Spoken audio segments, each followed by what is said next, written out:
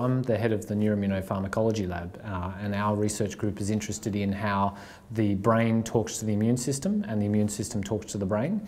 Uh, and we're really interested in the cells that are in the brain that make up 90% of the brain and those are in fact immune cells. Uh, and they work, usually work quite well and, and support our brain function to help us do everything we do usually, but unfortunately under certain situations they go bad and uh, we know about those kinds of diseases like the neuroinflammatory diseases of Alzheimer's uh, and Parkinson's.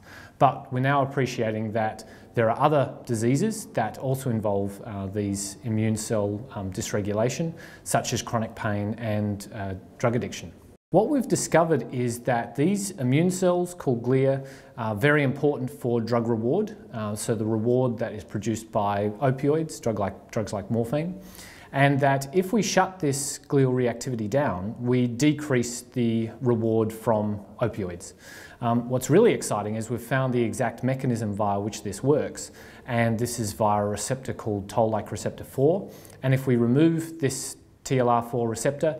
Our um, studies show that we remove the abuse potential of opioids. The drug we've been developing over several years is a mirror image drug to the uh, well-known um, opioid antagonist or blocker called naloxone. So this is a mirror image drug called plus naloxone. It has a fantastic ability to block toll-like receptor 4, but it doesn't do anything to classical opioid receptors. So when we give this drug in combination with an opioid, like morphine, uh, morphine binds to uh, the opioid receptors to give us the fantastic pain relief, but usually it would also cause the glia to become activated by this TLR4 pathway.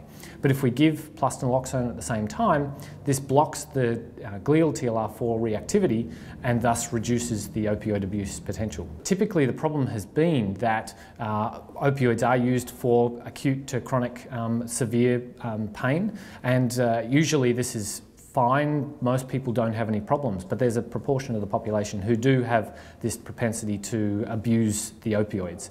Uh, in this particular case, if this particular um, drug plus, plus naloxone was given at the same time as morphine, we would expect that it should block the abuse potential of the opioid, but in fact it would actually increase the analgesic pain relieving qualities of the opioid. This could be a brand new way to treat addiction by looking at the immune side of the story rather than what classically is done is looking at the wiring of the brain. Um, so we've really believed now that a drug abuse situation, rather than it being a dysfunction of the wiring, we think it's actually the immune system of the brain that has um, something wrong. It really is a paradigm shift in how we think about uh, drug addiction and drug reward. We have been focusing on the wiring of the brain, the mesolimbic dopamine reward pathway, for many decades. Um, and what this really does is it changes how we think about the mesolimbic dopamine reward pathway rather than just wires of the brain in isolation. These wires of the brain are in close proximity with the immune cells and the TLR4 receptors, and this complex interaction between these multiple systems actually creates this drug abuse, drug reward situation. So that's a really significant paradigm shift in terms of treatment of addiction, because what we've seen is that uh, most treatments for addiction focus on this wiring system. We believe now that these uh, glial targeted and TLR4 targeted therapies will prove to be very efficacious in the future in clinical trials.